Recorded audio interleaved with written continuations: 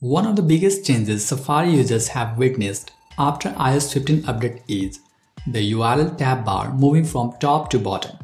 While this might be great for accessibility, but there are many users who didn't like this functionality and want to get the old Safari back. If you are someone who didn't like it and want to get old Safari back, then keep watching. So without any further delay, let's get started. Basically, we are going to change this URL search bar from bottom to top. For that, you will have to first go to settings and from there on, you just need to scroll down until you see Safari. Once you see that, tap here and this will open Safari settings.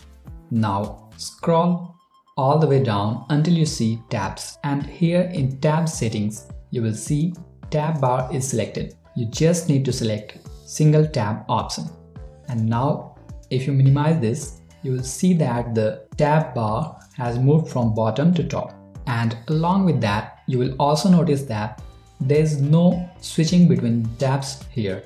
For switching between tabs you will have to tap here like you used to be doing it earlier. So that is how you can change Safari settings to get old Safari back.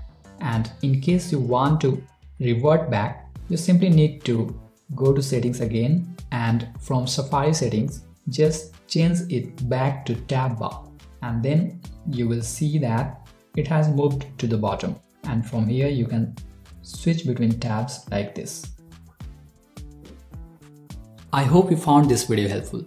If yes, please hit the like button to let me know and if you have got any questions, feel free to ask in the comments below. I'll try my best to help. Thanks for watching. I'm Rahul signing off and I'll see you in the next one.